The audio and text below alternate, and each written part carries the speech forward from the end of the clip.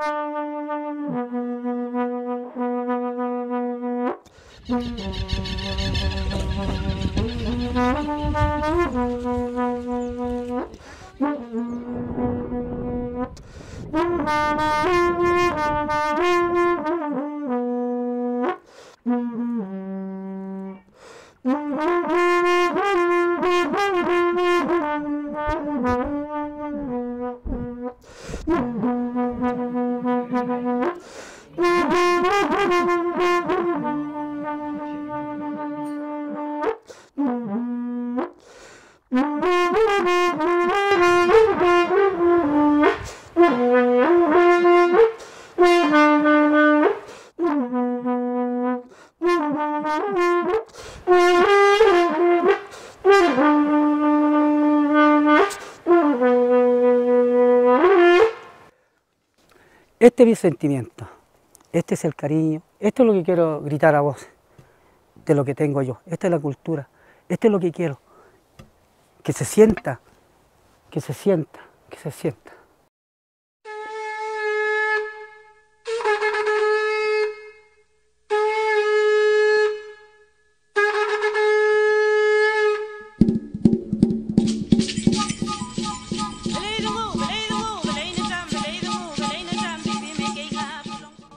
Nosotros estamos aquí en el sector Guanumapu, estamos aquí a las puertas del Parque Nacional Nahuelbuta. Este sector pertenece a la Corporación Mapuche Nahuelbuta. Son nueve hectáreas que hoy en día la corporación, junto a sus comunidades del Valle Cayucupil, están trabajando en turismo, turismo, eh, turismo comunitario.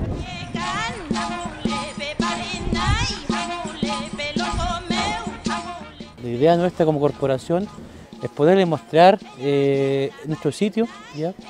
y también eh, interactuar desde lo cultural, de lo eh, de preservación medioambiental también. Bueno, lo del turismo, eh, siendo sincero, es nuevo ya para nosotros como comuneros. Nuestro cotidiano lo hacemos en la agricultura, ya. Eso de conservar, eso no es, no es que hoy en día yo lo aprendí desde, desde mi base teórica, sino que lo vengo aprendiendo desde pequeño, ¿ya? Es por nuestra cosmovisión, nuestro modo de vida. Desde mi, conocimiento, mi abuelo me hablaba de, de preservar, hoy ni se llama preservar, pero él me decía siempre que había que tener respeto, respeto hacia, hacia nuestro entorno, respeto al donde caminábamos. Como mapuche lo veníamos diciendo hace siglos. ¿ya? Y hoy en día el sistema eh, lo llaman con otros nombres, pero eh, al fin y al cabo es lo mismo.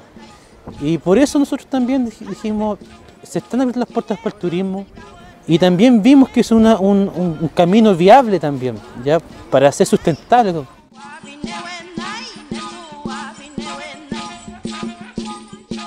Esto es lo que nosotros queremos conservar como pueblo y esto es lo que nosotros lo están sacando de acá. Lo que lo están plantando unos eucaliptos, lo están plantando el pino, donde ya no está, no está llegando ese aire puro que, este, que teníamos antes, donde tú no te puedes meter en un lado donde podías sacar una pinatra, un digüeñi, se está terminando el alimento que nosotros teníamos, que se llama el changle, donde está el hongo que le llamamos las callampas, están los, eh, están los loyos, y que siempre lo hemos tenido y hoy día no los tenemos.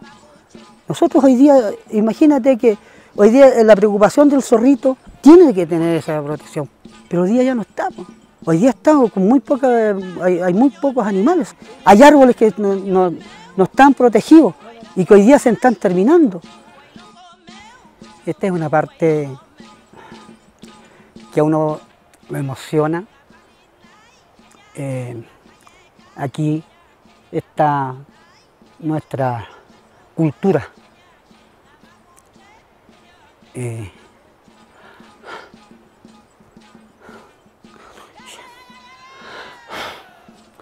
este es, es una identidad como pueblo.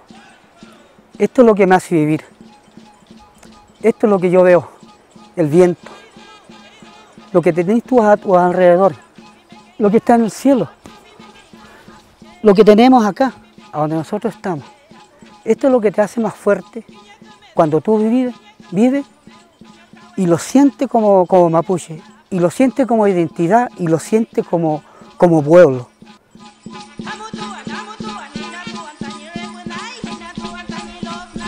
Esta experiencia en terreno amplió nuestra visión respecto a las acciones de la FAO, la diversidad de actores con los que trabaja y cómo cada acción impacta en la vida de las personas. Significó poner caras y corazones a nuestro trabajo y por ende visibilizar lo que nuestras acciones diarias en FAO pueden gatillar.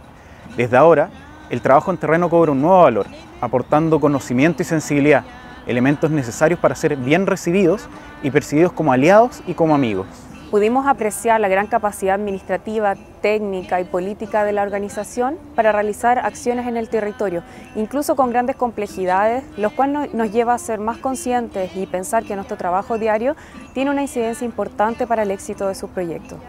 Nuestro trabajo en FAO responde a una vocación social, entregando cada una de nuestras capacidades y compromiso en acciones concretas en el día a día. Para nosotros es una dicha colaborar con FAO, ya que a diferencia de otros trabajos no lo hacemos para enriquecer a alguien, sino para cambiar la vida de miles y millones de personas, aportando con un pequeño granito de arena desde cada una de nuestras áreas profesionales.